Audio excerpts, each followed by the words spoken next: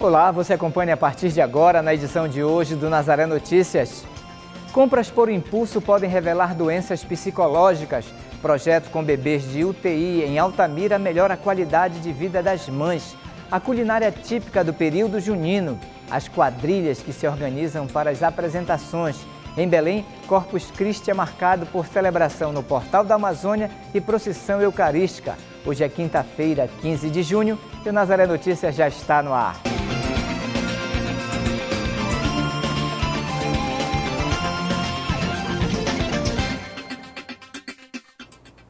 Começamos o Nazaré Notícias de hoje falando que, mesmo em meio à crise financeira, o brasileiro continua comprando por impulso. Quatro em cada dez consumidores acabam adquirindo algo que não precisam, relatam as estatísticas. A compra por impulso, se frequente, acaba se tornando uma doença psicológica. Eliana adora ir às compras. Sim, algumas vezes sim. A mulher tem esse hábito né, de sempre querer comprar muito. Apesar de ser divertido comprar, Eliana não perde o controle dos gastos. Primeiro, eu não uso cartão de crédito, né? Então, sempre que tenho dinheiro, a gente separa né, o que é necessário, que são pagar as contas, e o que sobra a gente vai e faz as compras. Né? Compra um sapato, uma roupa, uma joia. A gente aproveita para fazer isso, mas a gente não. A gente tirou aquela mania de usar o cartão de crédito, né? A gente não de tanto que a gente cancelou, porque é uma forma, o cartão de crédito leva você a fazer isso. Comprar por impulso muitas vezes caracteriza um transtorno psicológico chamado oniomania. A compra compulsiva, nós vamos estar falando de uma doença psicológica, tá? chamada de oniomania, que é justamente essa compulsão por compras. Como é que nós vamos detectar que isso passa a ser uma doença? ela começa quando você deixa muitas vezes de pagar contas necessárias como luz, água, um plano de saúde, a escola de um filho, para você acabar fazendo compras que muitas vezes a gente pode dizer que são desnecessárias. Ah, muitas vezes você vai com roupas da moda, com sapatos, com relógios, e aí você tira o que seria da prioridade de importante para justamente estar comprando coisas, entre aspas, desnecessárias.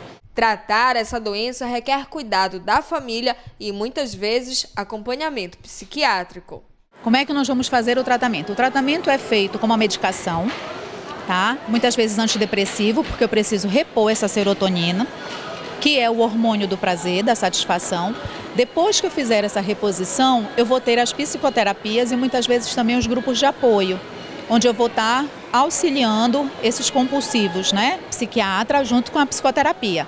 Né? Eu não tenho somente como tratar com a medicação. Querer comprar uma coisinha ou outra não faz mal a ninguém, mas é preciso ter controle. Dona Maria sabe disso. Não sem limite, né? Comprar é bom, não sem limite. Tem que ter para pagar, né? Então eu costumo primeiro estabelecer prioridade. Então, primeiro eu faço assim: recebo, pago as prioridades, o restinho, né? A gente vê o que faz, né? A gente precisa também, né? Precisa se arrumar, né? Terezinha também controla os custos e a vontade de consumir. Mas eu não gasto muito. Sou controlada e eu sou equilibrada, ainda faço todo o orçamento direitinho. E falando em comércio, mais de 5 milhões de nortistas estão na lista de negativados do SPC Brasil isso corresponde a quase metade da população adulta da região norte. Em relação a mais de 2016, houve queda de 0,5%, a terceira redução consecutiva nessa comparação anual. Em números absolutos, estima-se que 60,1 milhões de brasileiros estejam com restrições de crédito, quase 40% da população adulta. Os números da Confederação Nacional de Dirigentes Logistas mostrou que mais da metade da população entre 30 e 39 anos tem contas em atraso, somando 17,3 milhões de inadimplentes. Quase metade das pessoas, representando 48%, com idade entre 40 e 49 anos, estão negativas. Na faixa etária entre 65 e 84 anos, a proporção é de 31%, representando 4,8 milhões de pessoas. Já os mais jovens, de 18 a 24 anos, representam 19% e totalizam 4,4 milhões de devedores. As faturas de pagamento mensal da Companhia de Água e Esgoto do Amapá serão emitidas somente pela internet até o mês de agosto. Segundo a companhia, um processo licitatório para a contratação de uma nova empresa está em andamento e até o fim do processo, os clientes devem imprimir as faturas pelo site da companhia ou procurar os postos de atendimento na rede Superfácil ou na sede do CAESA, no bairro Laguinho, zona central de Macapá. E agora vamos falar de saúde. Impedir a permanência de acompanhantes, colocar a mãe em situação de constrangimento, deixar a paciente acuada ou com medo e afastar o bebê impedindo a amamentação são situações consideradas violência obstétrica. O projeto Parto Humanizado foi implantado pela direção do hospital e foi pensado para um dos momentos mais importantes da vida, o nascimento. A gente tenta enxergar né, na frente um bom atendimento. A gente sempre visa é, o bem do paciente, assim, sempre visa uma melhor saúde. Então a gente sempre tem que estar à frente. Então isso aqui é uma iniciativa nossa do hospital, da nova direção, para que possa melhorar ainda mais o nosso carro-chefe, que eu vou dizer aqui, que é a obstetrícia. O parto é um dos momentos mais complexos vivenciados por uma equipe médica e pela paciente. Por muitas décadas, o país ignorou completamente a necessidade de cuidados com as mulheres durante o parto, e os relatos de agressões e abandono se multiplicaram de forma descontrolada. Após uma medida tomada pelo SUS, o Sistema Único de Saúde, o atendimento humanizado passou a ser prioridade nas unidades credenciadas. Em um documentário produzido pela Fiocruz, profissionais acompanham mulheres em trabalho de parto em várias unidades pelo país. E os relatos impressionam. Quando a gente fica assim sozinha, sentindo dor sem apoio de ninguém, parece que não, a dor não passa. Os pesquisadores perceberam que as mulheres precisavam de atenção, mas o que elas encontravam nas unidades de saúde era solidão. Eu sei que eu fazer você chorar eu estava sozinha, que acompanhada, não, não podia. Porque sozinha não pode entrar, não, não deixa entrar familiar, não deixa entrar ninguém.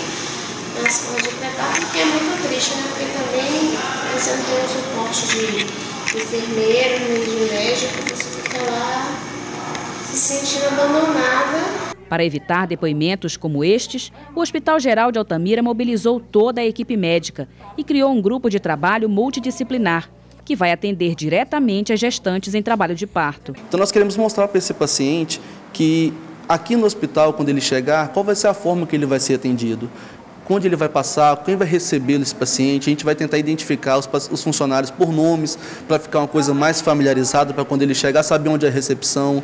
Depois da recepção, ele vai passar por uma avaliação com o enfermeiro obstetra, onde vai estar fazendo uma triagem, vendo a situação atual do paciente, ouvindo o coraçãozinho do bebê. Vamos identificar por nome também esses profissionais, entendeu? Depois disso, ele vai passar com uma avaliação pelo, pelo médico obstetra, que vai estar definindo a via de parto melhor para a paciente, em conjunto com ela e com o acompanhante dela. O projeto chama parto humanizado, mas as mulheres podem e devem procurar o hospital para se inscrever no programa durante a gestação por favor, venham, independente quem seja, pode ser uma mãe, um tio, um vizinho, não, assim, não deixem de vir, porque aqui a gente vai ter uma equipe esperando já essas pessoas para a gente orientar desde o momento da chegada, vai ter uma pessoa direcionando, ó, oh, você vai com assistência social, a gente assim orienta, que nem ela é mesmo é, relatou, traz a documentaçãozinha, carteirinha de gestante, que a gente vai estar orientando, vai estar recebendo essas gestantes aqui, e se forem de menor, vem com acompanhante, com a mãe, ou com algum parente que está é, assim, sendo responsável por essa gestante. O projeto foi pensado para as mães, mas será de extrema importância para a saúde dos bebês. Foi direto para mim, ficou deitadinha, assim eu chorei, o pai chorou, que ele também estava na hora, né? Foi pro peito, botou ela aqui assim, cheirei, beijei minha filha, foi muito bom. E ainda sobre saúde, um projeto vem dando certo em bebês da UTI do Hospital Regional de Altamira.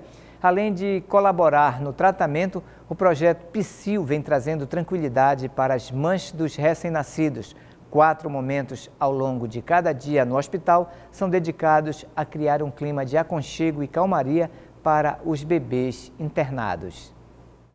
O projeto foi desenvolvido para dar mais comodidade aos bebês e também eficácia no tratamento deles. Para que fosse desenvolvido, colaboradores de todos os setores do hospital receberam treinamento. Todos os dias, uma hora de cada turno, as luzes são desligadas e fica proibido realizar qualquer procedimento com os bebês. O projeto é chamado de Momento Psil, uma forma que o Grupo de Apoio Multidisciplinar Materno-Infantil do Hospital Regional encontrou para diminuir o estresse em crianças acolhidas nesses locais de cuidados. Por que, que ele é importante? Não é só uma questão de boa prática, mas ele é fundamental no tratamento da criança é uma hora, o sono faz parte do tratamento, né? E essas crianças, elas passam a maior parte do tempo dormindo em casa. E se tivesse no útero, porque a maioria, o perfil, o perfil epidemiológico da nossa unidade é prematuridade, então eles estariam maior parte do tempo dormindo, ou ainda não tinham nem, na, não era para ter nascido. Então, é, na unidade de terapia intensiva, os cuidados são intensivos toda hora é manipulação, é medicação, é, faz parte também do tratamento. Abordando o momento psil, a gente garante que uma hora durante o plantão as crianças não vão receber nenhum é, tratamento ou cuidado que é eletivo. O clima de total silêncio proporciona um tempo de total relaxamento. Pensando nisso e visando a conscientização da importância do silêncio para os bebês da UTI, a coordenação de enfermagem promoveu também uma sensibilização sobre o projeto. Na porta da sala de UTI são colocados avisos no momento da execução do projeto para que os colaboradores e visitantes não interrompam o silêncio. O momento PSIL surgiu, na verdade, a princípio já uns dois, três anos atrás. Nós tentamos se adequar com o a metodologia do canguru. O Ministério da Saúde, né, ele tem um manual do método canguru e essa faz parte uma das boas práticas que o método também traz. Então, nós tivemos já esse momento PCO algumas vezes, ele estava um pouco frágil, a gente retomou dando treinamento com todo o hospital, todos os outros setores, mesmo que não diretamente atuam aqui dentro, para que eles também conheçam e sim, sinalize que o momento psil é importante na UTI neonatal para que ele se comporte diferenciado até nos corredores. Para os pais dos bebês que estão na UTI e que são beneficiados com o projeto, o tratamento vem dando certo, porque os bebês ficam mais calmos e passam a receber atendimento de forma mais humanizada. Raquel já percebeu diferença no bebê dela de pouco mais de um mês, que é atendido nesse processo. Os dias que ele ficou internado, a gente não tinha muito contato. Já fui ter já quando ele estava mais durinho, né? Mas aqui não, ele está mais calmo, ele é, dorme bem, se alimenta bem. Aqui eu acho, na minha opinião, é um serviço muito agradável, ajuda bastante as mãezinhas. O Momento Psil é uma atividade institucional que contempla as técnicas do método canguru, que busca melhorar a qualidade da atenção prestada à gestante, ao recém-nascido e à família. A partir de abordagens humanizadas e seguras, o contato de pele a pele favorece o vínculo afetivo. Além disso, a estabilidade térmica do contato é um estímulo à amamentação e ao desenvolvimento do bebê. O método canguru também é usado e faz parte do projeto. Quem sair de Belém neste feriado encontrará passagens mais caras. De acordo com o Diese Pará, há reajustes nos valores dos transportes rodoviários, intermunicipais e interestaduais. O mesmo vale para quem for deixar a capital através do transporte fluvial. Todos os valores estão mais altos em comparação ao ano passado. Quem for para o interior do estado de ônibus vai encontrar um reajuste de 16,61% nas passagens. Agora, se o destino for outros estados, o passageiro vai pagar pelo menos 9% a mais do que pagou em 2016. Os valores foram registrados pelo Diese na manhã de ontem, quarta-feira, dia 14 de junho, em pesquisa feita no terminal rodoviário de Belém. No caso específico da linha urbana para Mosqueiro, as passagens estão 14,94% mais caras. Ou seja, o transporte administrado pela Prefeitura de Belém está custando R$ 5,00.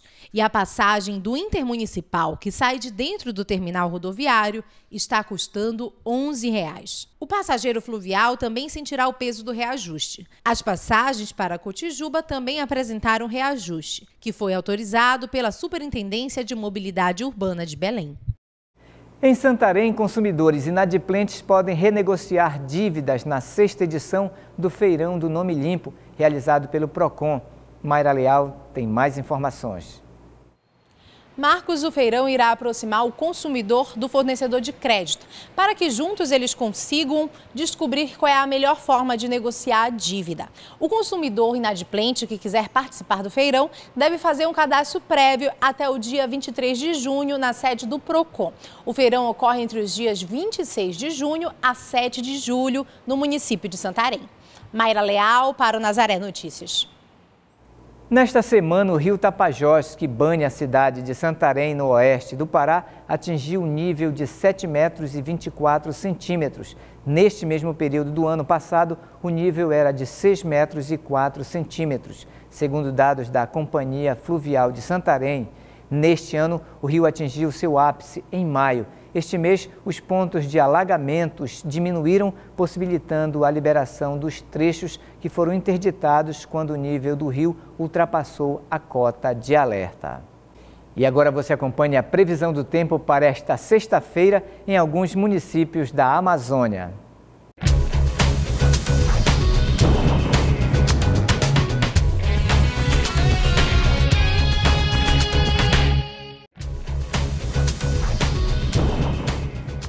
Município de Tailândia, Nordeste Paraense, a previsão é de tempo parcialmente nublado, mas sem possibilidade de chuva para esta sexta-feira.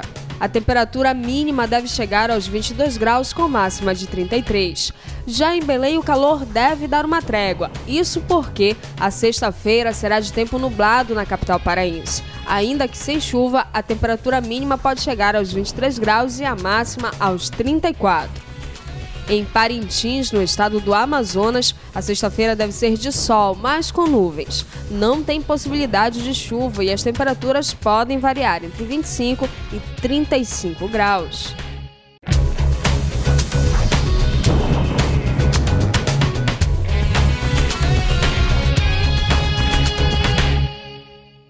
E ainda falando em clima, a cheia do rio Solimões afetou metade das audiências judiciais pautadas nos últimos dois meses pela comarca de Anamã, a 160 quilômetros de Manaus. A cidade no interior do Amazonas está alagada há algumas semanas. Servidores e populares precisam usar canoas para chegar até o fórum. Os dados foram divulgados pelo Tribunal de Justiça do Estado do Amazonas. A subida do rio ocorre durante os primeiros meses de cada ano. O nosso assunto agora é educação. Cinco faculdades paraenses foram reprovadas pelo Ministério da Educação. A avaliação é feita por meio do Índice Geral dos Cursos, que mostrou que 303 instituições de ensino superior tiveram avaliação insatisfatória. No Pará, as instituições reprovadas foram a Faculdade de Ciências Sociais Aplicadas de Marabá, a Faculdade Pan-Americana, a Faculdade Pan-Amazônica, a Faculdade do Tapajós e a Faculdade Teológica Batista Equatorial. Ao todo, foram avaliadas 2.109 instituições de ensino superior. O índice vai de 1 a 5 e as notas 1 e 2 indicam mau desempenho, passível de punição. As instituições reprovadas podem ser impedidas de realizarem novos vestibulares, até que medidas de melhoria sejam tomadas. E ainda falando em educação, nos dias de hoje, onde os videogames e smartphones ganham cada vez mais espaço no universo infantil, a leitura se torna cada vez mais essencial. O desafio é fazer a criança entender e compreender que ler não é uma obrigação, e sim um prazer. Mayra Leal tem os detalhes. Marcos, em Belém, um projeto quer incentivar o gosto pela literatura na infância. É o Clube da Leitura Infantil, que ocorre no Sesc Boulevard e que está com inscrições abertas. Podem se inscrever crianças de 6 a 12 anos de idade. As inscrições são gratuitas e devem ser feitas diretamente no Centro Cultural. A reunião deste mês está prevista para o dia 24. Mayra Leal para o Nazaré Notícias. E você pode sugerir temas para as nossas entrevistas ou reportagens. É só enviar sugestões para o nosso WhatsApp, o número é 988023444. E aí você informa o seu nome e a sua cidade. E você acompanha ainda nesta edição a culinária típica do período junino, as quadrilhas que se organizam para as apresentações e em Belém, Corpus Christi é marcado por celebração no Portal da Amazônia e a procissão eucarística. Voltamos com Nazaré Notícias e agora vamos falar do período junino. São muitos os símbolos deste período e um deles é a culinária típica.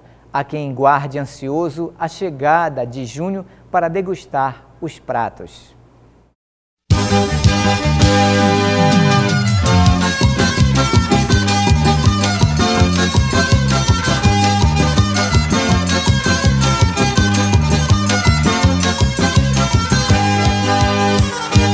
Os cheiros, a música, as cores, tudo mostra uma coisa. Junho chegou. Emanuel, o que, é que você mais gosta do mês de junho? Das músicas, da animação, parece que o povo vai chegando aí, vê tudo organizado, já vem dançando, animado. Tudo isso é bom. É um clima gostoso, né? É um clima de, fe de festa mesmo. Sem dúvida, esse é o mês da alegria, principalmente para a Patrícia. Com certeza, até mesmo porque eu faço aniversário no mês de junho, dia de São Marçal, então para mim é um dos meses mais esperados do ano. Você é toda feliz? Toda feliz, sempre. Quem também celebra a vida nesse mês é Júnior e tudo lembra a infância nesse período. Coincide com o mês do meu aniversário e é um mês que lembra muito a minha infância, né? Gosto muito das comidas típicas do mês, das músicas, né? Então é muito especial. Que junho é o mês da alegria, não há dúvidas. Basta olhar para os sorrisos. E não há quem não se contagie com a música e entre nessa dança. Olha só a pequena Isabelle ensaiando os primeiros passos de uma tradição que vem de família. Como nós participamos já de quadrilha, juventude, adolescência, a gente quer que hoje a nossa cultura venha para os nossos filhos também, como vocês já viram. A Isabelle está aí já dando os primeiros passos para ser uma puxadora de quadrilha. Então a gente aproveita bolo podre, a gente aproveita a canjica, tudo que é de bom do mês de junho, tudo que é bom no mês de junho, que o povo paraense já conhece, só faz aflorar no mês de junho. Eu estou muito feliz com isso.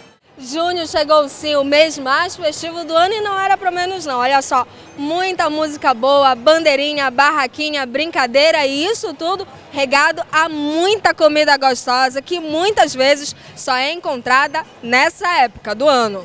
Só na festa junina mesmo, mês junino. Em específico, e sai muito? Sai muito. Muita maniçoba, vatapá, caruru.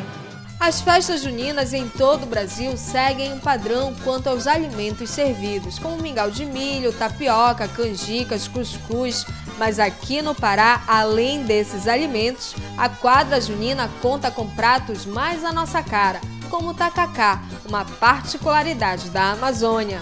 Põe tucupi, camarões secos e jambu, acrescenta um bocadinho de goma de tapioca, põe na cuia e pronto! Esquenta ainda mais a quadra junina. E que tal um vatapá, prato típico da culinária afro-brasileira que na versão paraense não deixa o jambu de fora. Quer mais? Vamos então de maniçoba, que por sinal não anda só. Um pouco de arroz branco e farinha e pronto! Serve à vontade até fora de época. Em Belém, a maniçoba é prato para o ano todo. E como é festa junina, é claro que pode misturar também. Varuçoba não é criação nova e já virou moda. Prato indicado para quem quer provar todos os sabores.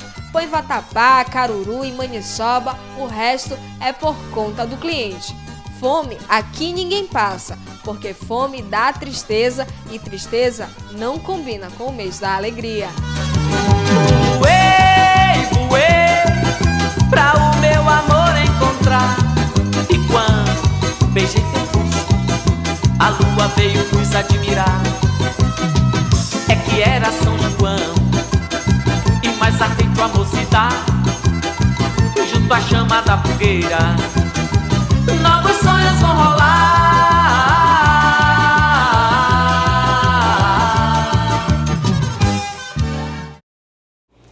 E ainda sobre este período junino, a Prefeitura de Belém já divulgou a ordem de apresentação das 49 quadrilhas juninas que irão participar do Arraial da capital. As festas são gratuitas e ocorrem entre os dias 23 de junho e 2 de julho. A ordem das apresentações dos grupos foi definida em sorteio. O concurso de quadrilhas do município vai acontecer na Tuna Luso Brasileira, que fica na Almirante Barroso, aqui em Belém. Segundo a Prefeitura, a mudança levou em consideração fatores como a acessibilidade ao local, segurança e a possibilidade de instalar estruturas cobertas por conta das constantes chuvas registradas na capital paraense. Do dia 23 de junho ao dia 2 de julho, as apresentações acontecem a partir das 18h30. São quadrilhas infanto-juvenis com participantes de 7 a 14 anos e quadrilhas juvenis e adultas da cidade de Belém e seus distritos. E falando em quadrilhas, vamos conhecer agora a Sedução Ranchista, uma quadrilha que há mais de 20 anos leva o nome do bairro do Jurunas para as competições. Enquanto alguns trabalham nos últimos detalhes das roupas, outros repassam a coreografia e ensaiam mais uma vez. Tudo para que o grande dia seja perfeito.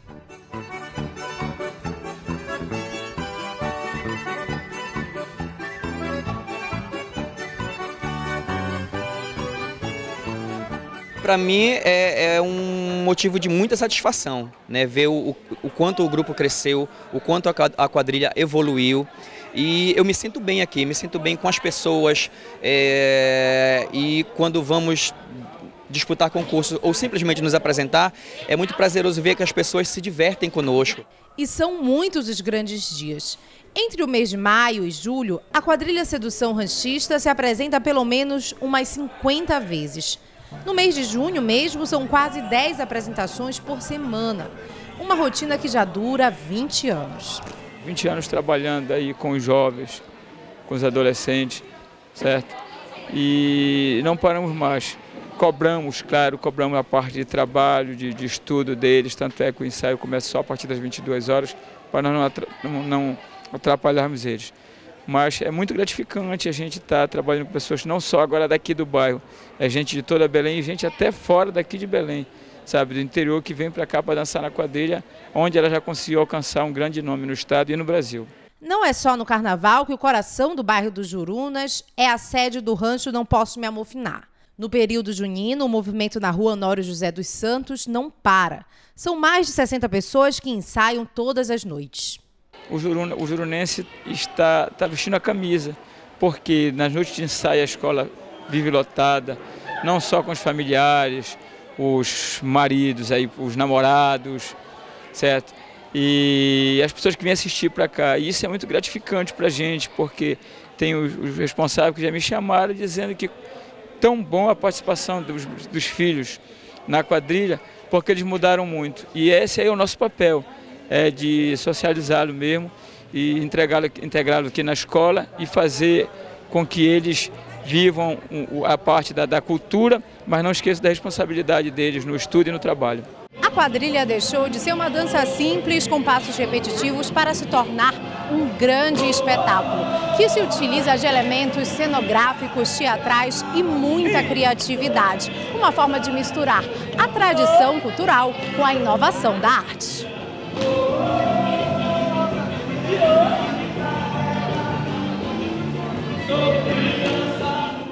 Hoje, as quadrilhas juninas, elas não são somente a dança, não são somente a coreografia. Elas têm um lado de interpretação, um lado, um lado de, de emoção, né, que juntamente com a empolgação, com a coreografia, elas, elas compõem o que a gente chama do conjunto da quadrilha.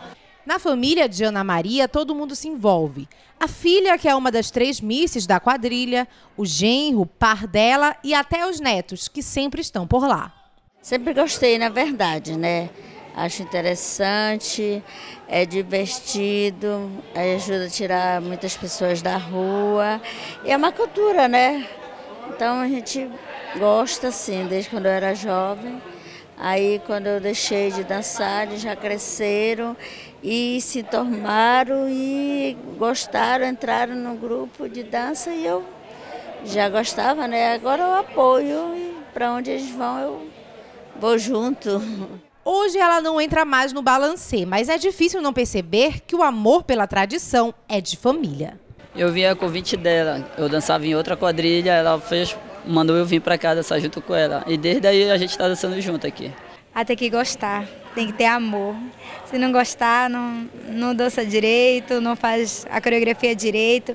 É muito amor que tem que ter. São meses de preparo e de ensaios para fazer do momento da apresentação da quadrilha único, como num sonho, que não acaba na despedida.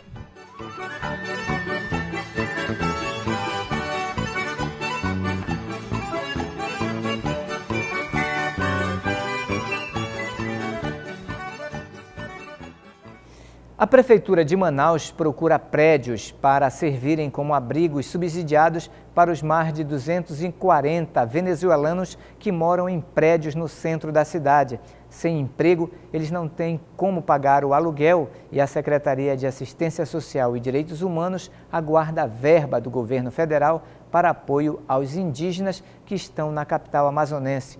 O recurso será destinado à compra de material de limpeza, de higiene e para buscar a regularização desses povos para inclusão nos programas do governo federal e da prefeitura.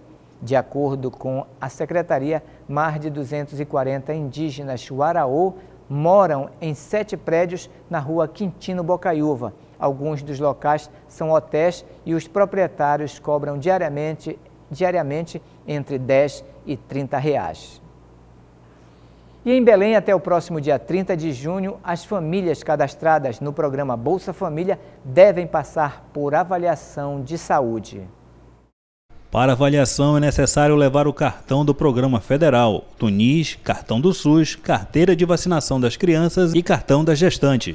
A avaliação é obrigatória para crianças menores de 7 anos, mulheres entre 14 e 44 anos e gestantes com idade de 14 a 44 anos. Os beneficiários que não comparecerem às unidades de saúde para fazer a verificação e não estiverem com os dados atualizados poderão ter o benefício bloqueado ou até cancelado. O programa Bolsa Família é voltado para famílias em situação de extrema pobreza, com renda mensal de até 85 reais por pessoa. Em Belém, o total de beneficiários chega a 114.745 pessoas. E vamos falar de saúde. No mundo, existe um alerta para a epidemia de Zika, doenças com sintomas semelhantes aos da dengue. Ambas doenças são transmitidas pelo Aedes aegypti e estão cada vez mais comuns na Amazônia. Uma das armas contra o mosquito é a prevenção. O repelente é um dos auxílios e uma pesquisa desenvolvida pelo Museu Paraense aponta prioridades repelentes na folha da aninga. Em 2007, pesquisadores do Museu Paraense Emílio Guild começaram pesquisas sobre a aninga, uma planta tóxica e venenosa que é usada pelos ribeirinhos como remédio.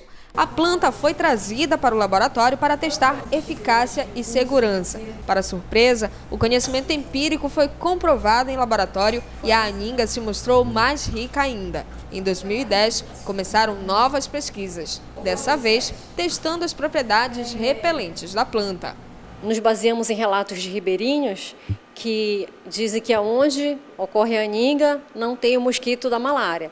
E aí nós é, fizemos testes com a planta em laboratório e vimos que realmente extratos da planta inibiram o crescimento de ovos do plasmódio falcíparo, que é o parasito causador da malária.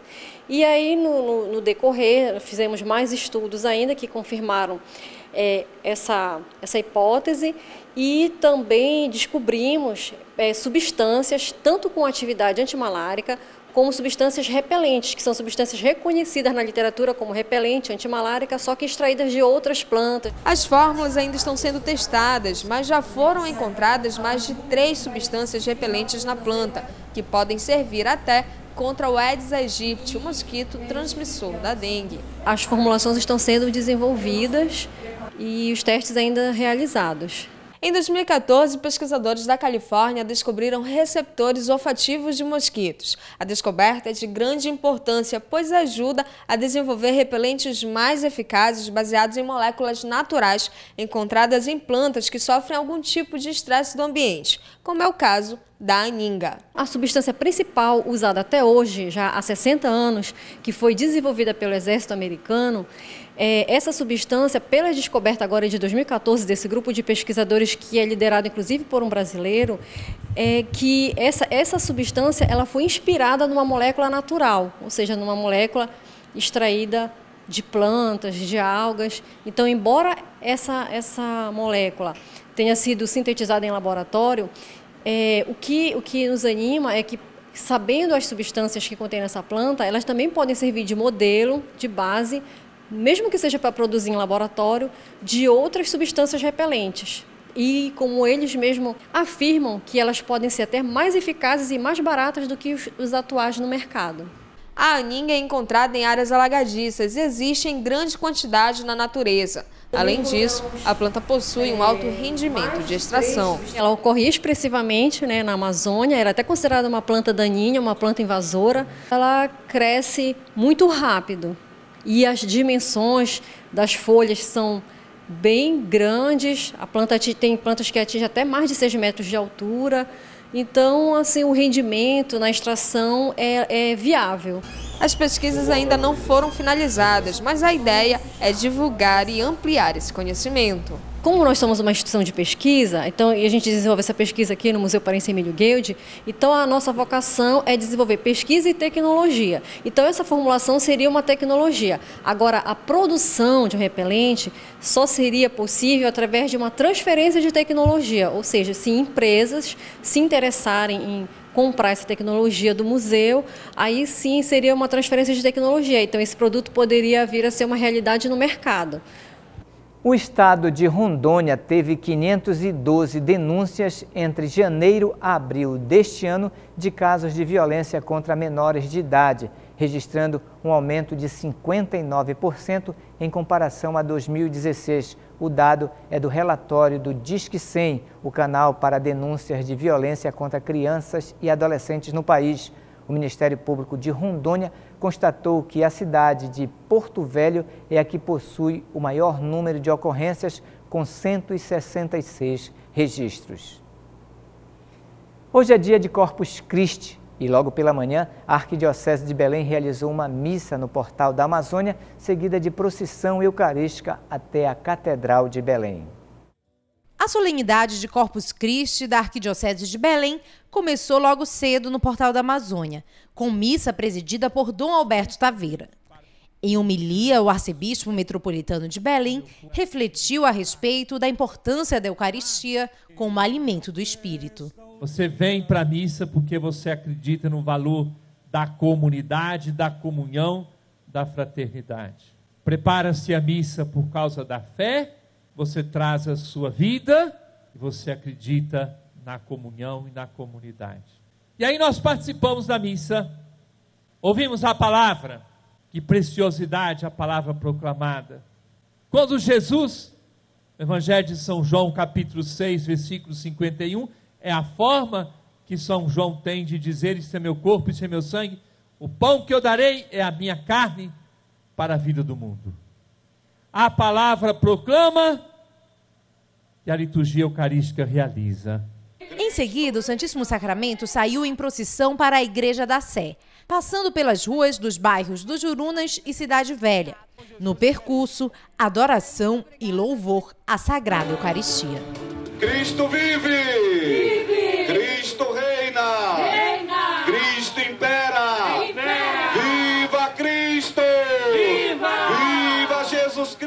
Procissão é considerada uma das mais importantes do calendário católico, pois significa a passagem de Cristo pelo povo, abençoando as ruas e as famílias da cidade. O Papa João Paulo II, hoje santo, na sua encíclica Eclésia da Eucaristia, falou: a igreja vive da Eucaristia. Então, nesse dia em que nós fazemos esta grande memória e celebramos a Eucaristia, e depois temos esta procissão eucarística, é o nosso dia de adorar Jesus Eucarístico.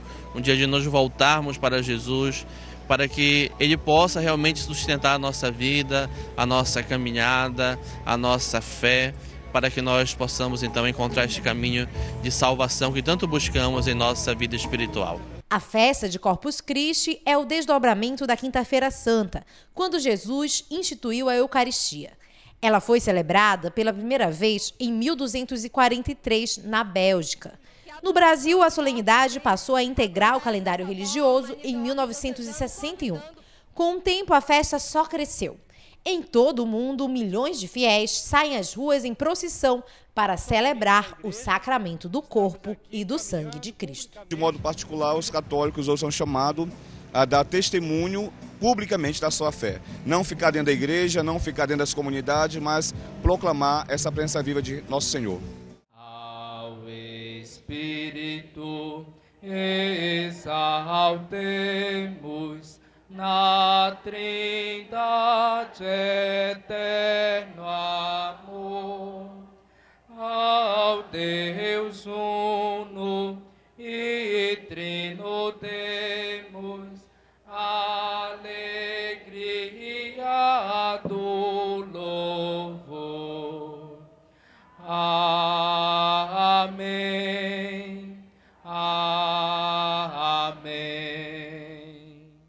Do céu lhes destes o pão, que contém todo sabor. Oremos, Senhor Jesus Cristo, neste admirável sacramento, nos deixastes o memorial de vossa paixão. Concedei-nos tal veneração pelos sagrados mistérios do vosso corpo e do vosso sangue, que experimentemos sempre em nós a sua eficácia redentora. Vós que sois Deus com o Pai na unidade do Espírito Santo. Amém.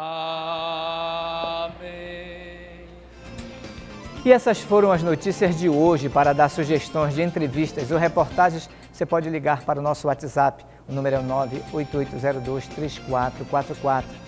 Mas se você quiser rever nossas reportagens, acesse o portal Nazaré www.fundacionazaré.com.br ou acesse a nossa página no Facebook.